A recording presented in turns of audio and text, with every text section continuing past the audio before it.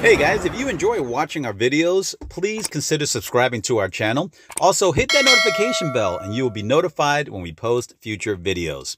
Give those fingers some exercise and hit that like button. That lets us know that you like and enjoy our videos.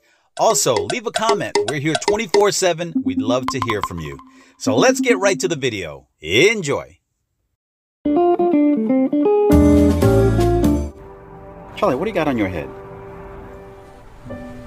Charlie, you want a piece of cake? Want a little piece of cake?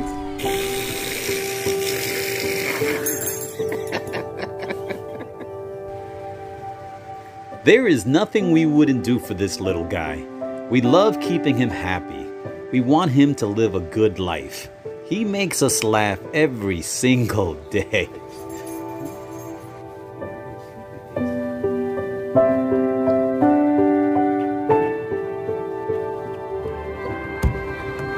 This vanlife struggle is real.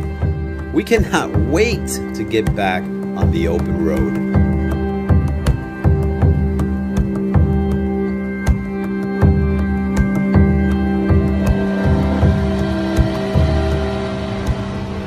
Between me and the lawnmower guys, we're going to be making a lot of noise here.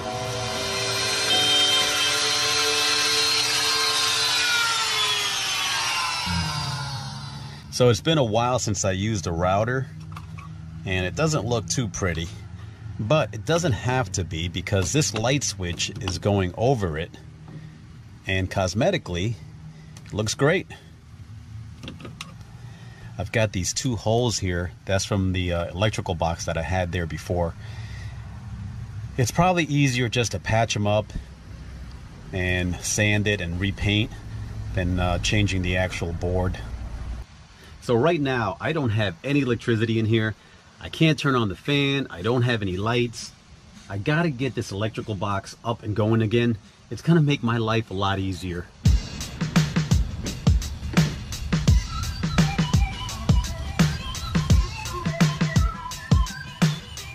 Oh boy. Let's see if we can finish this box and see if we can finally get it done.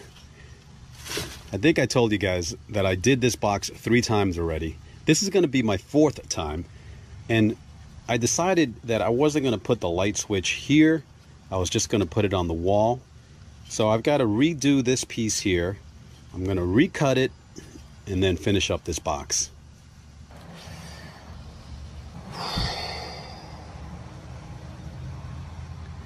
Deep breath. If you ever buy a jigsaw, make sure you get one with a quick release. It makes things so much easier.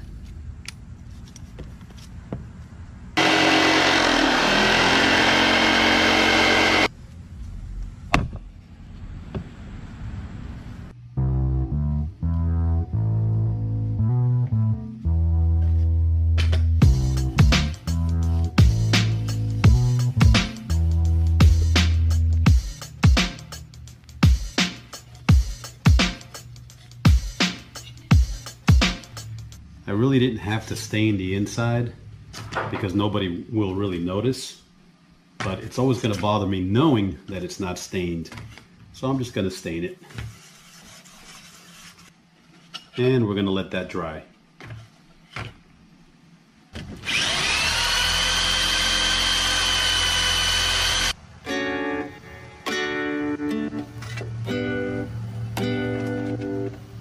All right, it's getting dark outside. I just barely made it, but as you can see, the lights are on. Uh. So now we've got the light switch here. We've got the electrical box up top. Originally, I had the uh, light switch over here, but it makes more sense to have it here. It's more visible and easier to operate.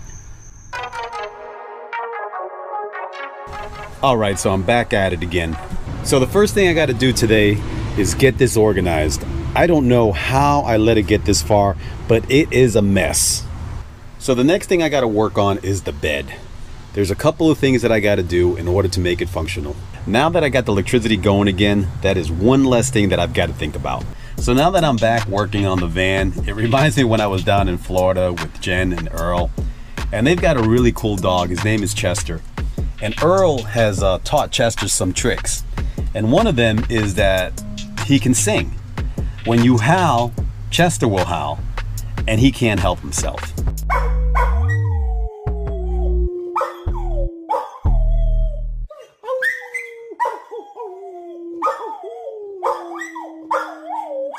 I get a lot of people ask me when I'm walking Charlie what kind of dog he is.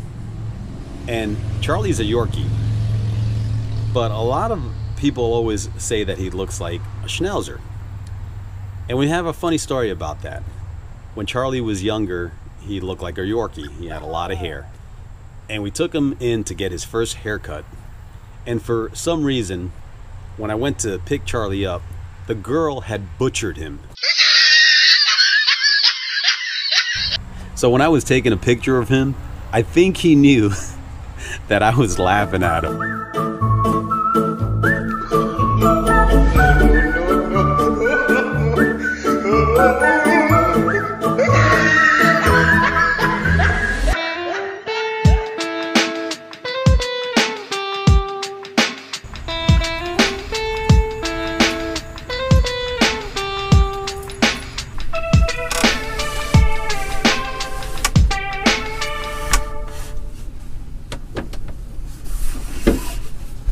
That's not our mattress, by the way. We have owned two inches, four inches, five inch mattresses, and we found that seven inches is the most comfortable to sleep in. We bought this frame on Amazon. It was about $125. We've got the same frame up in the room where we're staying at right now. And all I did was just use the top of the frame to make this bed. So there was a lot of modifications that I had to do. But this bed is so sturdy and the one that we have in the room right now, we just love it. So what I gotta do right now is I've gotta measure from this side to this side. If you notice there's a curve to the wall, it's not allowing the bed to go up. The width of the bed is too long. I'm gonna have to cut the wood.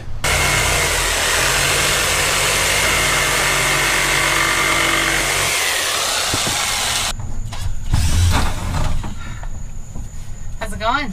Man, it's a puzzle. Huh? It's a puzzle.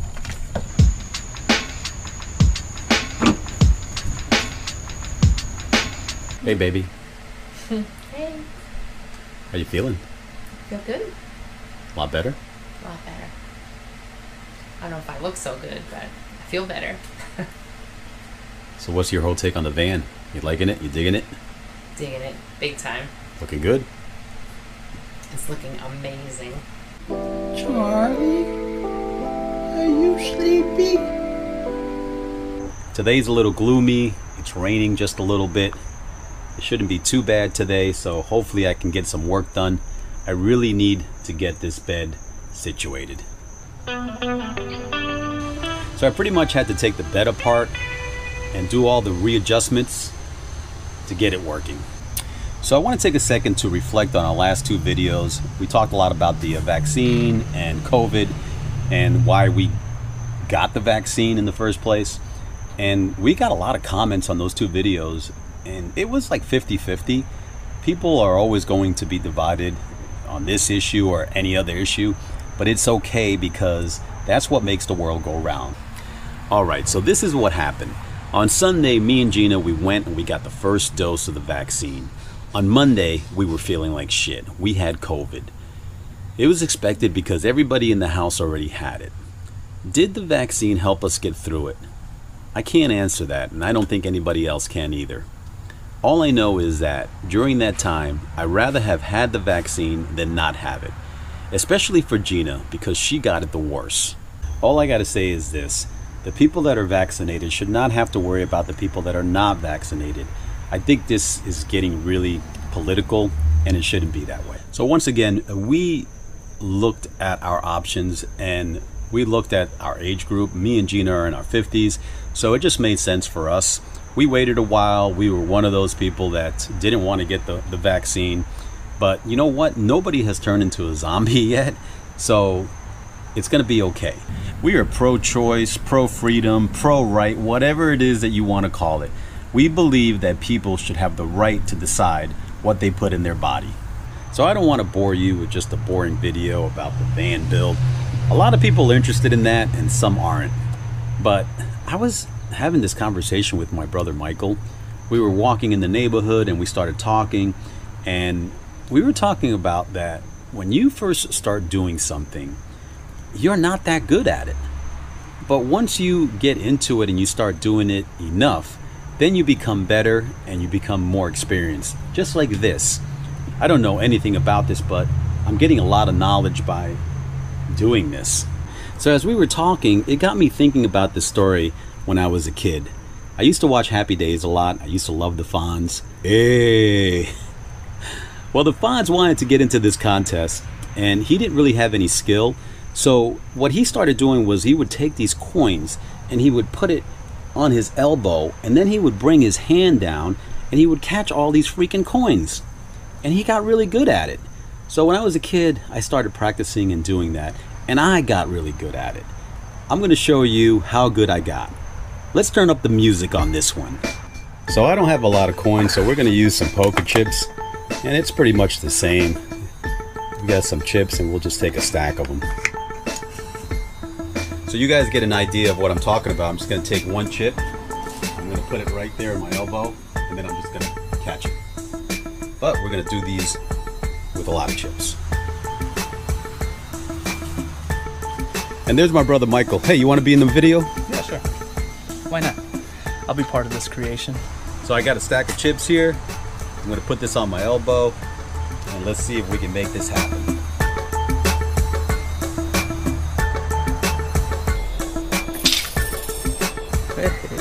Bam! There you go. Will this work? Once.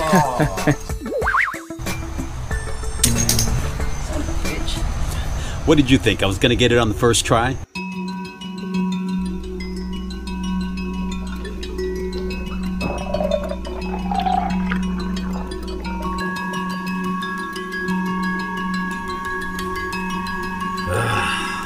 Where do I even begin?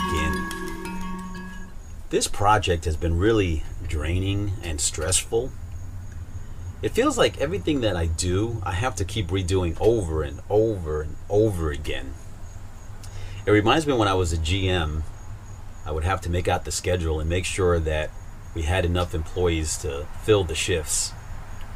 When I did a truck order, I had to make sure that I ordered enough food so we have to feed our customers. Employees were always an issue. They would always come in late. That was stressful. And I feel like this is the same thing right now that I'm feeling. It's like you have to get all these pieces together. I mean, this is probably why I lost all this shit. I know things are going to come together and they're going to come out the way I want it to. But I feel like right now I'm in the same situation here. So I'm redoing the uh, bed frame once again, and the issue that I'm having is that when I lift up the bed frame, I can only go up so high, and it's got to be higher in order for us to be able to get some of the stuff underneath. So I'm gonna have to rework it. I want to get this done today. So I couldn't film anything yesterday because I was so pissed. Originally, I had some screws in here, and I had to uh, take them out to redo the frame. And when I tried to do that, the head got stripped, and it took me forever to get it out. It wasn't only one, I had about four or five of them. So I'm gonna put my big boy pants on, I'm gonna strap up my boots, I'm gonna get this done.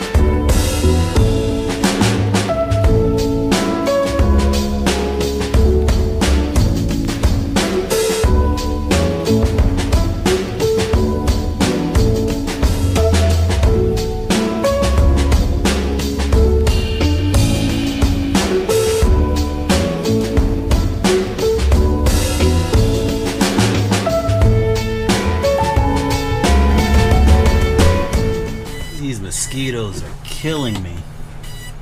All right, I finished up the bed frame and it is fully functional now. Thank you, Lord, baby Jesus.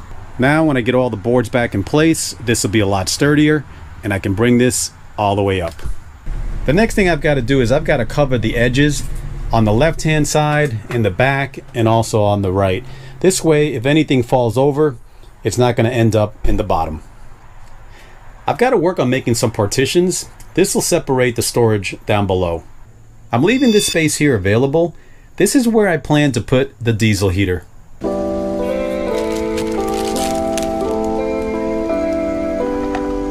I had to make a pit stop over at Home Depot. I needed a piece of wood to cover the front end of the bed frame. And I gotta tell you, right now, wood is so expensive. This is the wood that I picked up. I got two pieces of wood. It's a tongue and groove. I wanted one piece, but like I said, right now, wood is so expensive. So this made a lot of sense. This was $10 a board. That's gonna go in front of the bed frame, and I wanted to make sure that it flushes in with this piece of wood. All right, guys, we're gonna end this vlog here. Thank you so much for following us on this van build.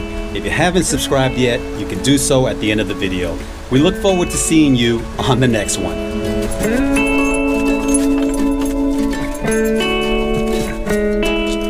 No. Give it back to me. Baby.